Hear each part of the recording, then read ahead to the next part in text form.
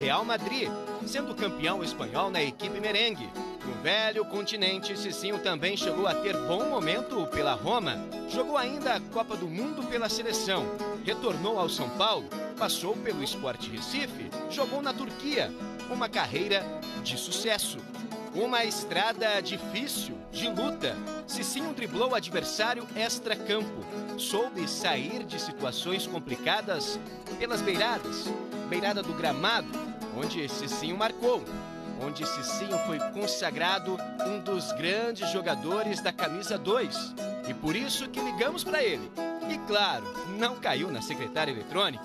E se caísse, ele retornaria de bom humor e de bem com a vida. Você ligou, você ligou para o Cici. Ficou famosa essa tua chamada, né? Pois é, ué. concentração faz isso com a gente, né? Não tem nada para fazer, então eu tava fazendo essas musiquinhas aí e deu sucesso.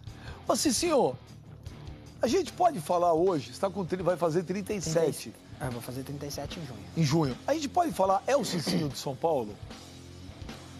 Olha, sim. Sim, porque eu sempre me identifiquei muito com São Paulo.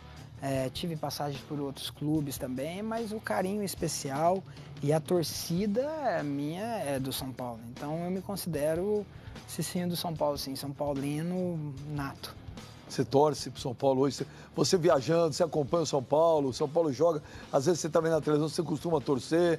Olha, quando, quando eu estava fora do Brasil, eu torcia bastante. Depois que eu me lesionei, eu diminuí um pouco porque existe aquela vontade de estar jogando novamente. Então, para não criar essa ansiedade, porque às vezes se tratando de você estar acompanhando o futebol, você quer dar uma adiantada na sua recuperação e acaba sofrendo com isso. Então, para que eu pudesse fazer a recuperação tranquilamente, eu me desliguei um pouco do futebol, mas sempre acompanhando por noticiários e resultados. Mas para assistir jogo, eu dei uma parada sim.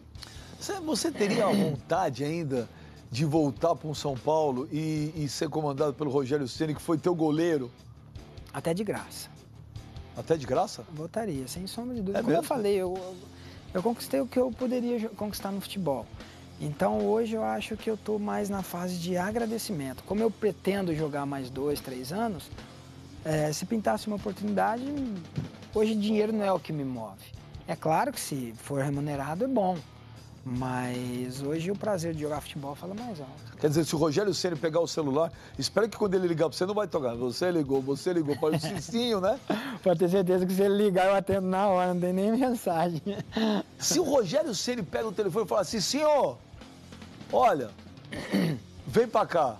Amanhã eu preciso de você. Hoje, fisicamente, você está com condição, você está zerado, você teve um problema sério no joelho, né? É, eu me recuperei. Fisicamente, eu estou, digamos assim, 80%, 90%. É, para você estar 100% fisicamente, você precisa de é, treinamentos com, com atletas. É. Eu estou fazendo treinamento somente sozinho, né? Então, o treinamento que eu faço sou eu com o meu preparador físico lá no interior de Goiás. Fiz o trabalho com o meu fisioterapeuta e agora é a parte física mesmo. Então, para você estar 100%, você precisa de sequência de jogos, você precisa de treinamento é, com bola, com muita intensidade. Mas hoje eu creio que 80%, 90% eu me encontro muito bem. Sim, senhor, eu, eu, eu lembro muito bem de você jogando. Você realmente jogava uma barbaridade. Não é à toa que você teve essa carreira que você teve, jogando em Real Madrid, jogando em seleção, disputando Copa do Mundo, ganhando tudo no São Paulo. Mas é, eu não vejo você jogar há um tempo. Então o que eu quero te perguntar é o seguinte: Rogério Senna ligou. Ah, oh, Cicinho vem pra cá. A gente, nós vamos ver o Cicinho hoje, por exemplo, jogando em alto nível? Olha, pela minha vontade, pelo que eu vim apresentando no Civasport, sim. É, os meus últimos três anos foi é, como eu tenho falado, foi, foram os melhores, é, digamos assim, da minha carreira, porque me rendeu três vezes praticamente o melhor lateral da Turquia e um dos melhores da Europa. Então eu vinha jogando em alto nível. Infelizmente eu me lesionei. E não foi devido à falta de treinamento, nada disso. E sim uma fatalidade que aconteceu durante uma partida, um contato, que depois eu desequilibrei e acabei me lesionando. E, mas eu, por isso que eu falo, eu não pensei em parar ainda porque eu me sinto competitivo. E eu acho que para demonstrar isso eu preciso estar jogando, eu preciso estar mostrando. Então vou esperar minha oportunidade. Se ela vier, eu vou estar preparado, pode ter certeza. Mas se você encarar um campeonato brasileiro que você sabe que é difícil pacas, 38 rodadas, lógico, talvez não dê para jogar tudo. Como também nem os caras de 20 e poucos anos jogam tudo. O único cara que conseguiu jogar tudo ano passado foi o Renato do Santos, com 30.